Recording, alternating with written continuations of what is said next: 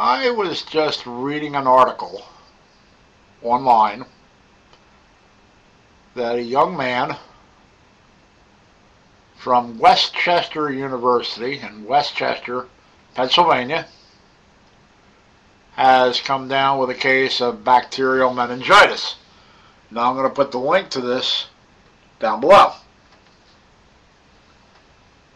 I used to live in a town called Exton, Pennsylvania.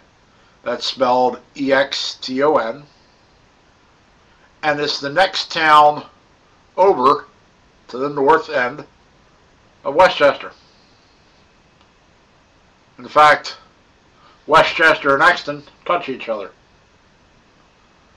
The university is only about six miles from where I used to live. But on September the 2nd,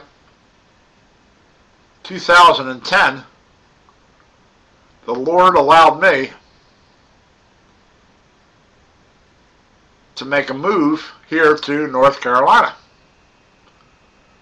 So now instead of being six miles away, I'm 555 miles away from the young man who is sick.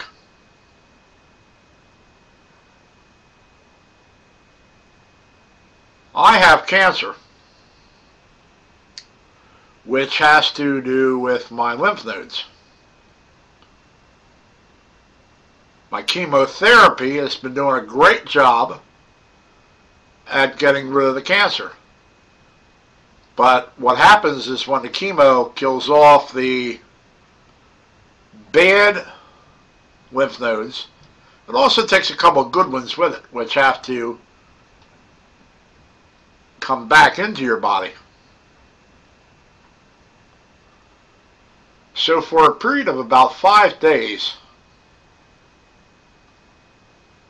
my white blood cell, my white blood count, instead of being too high, is going to be a little bit too low.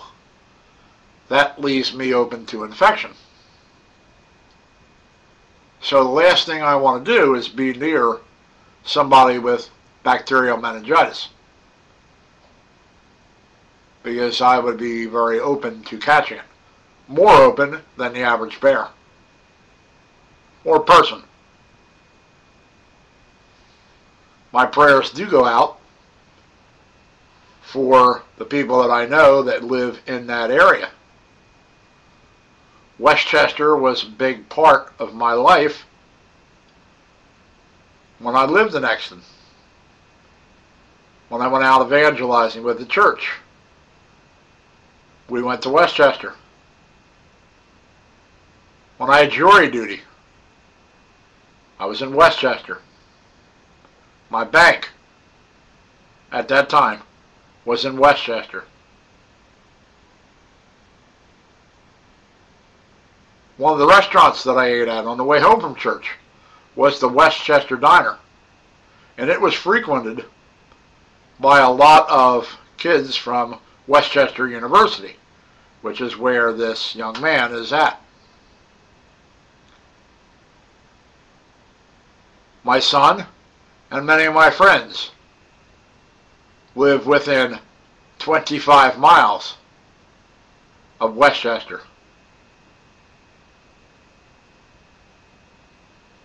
So I'm in North Carolina now, so hopefully the bacterial meningitis doesn't become a pandemic and start getting to other areas of the United States, but I'm very fortunate that I am here right now. I'm very fortunate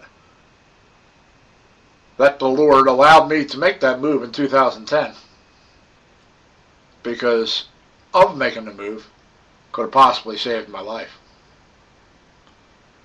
Now that's hindsight and foresight at the same time.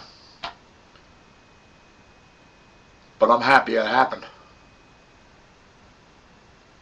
And I'm also very happy with the hospitals down here compared to the hospitals up there. The hospitals down here are much better. And I only live three and a half miles from one, which is the one that you have seen me do the videos in.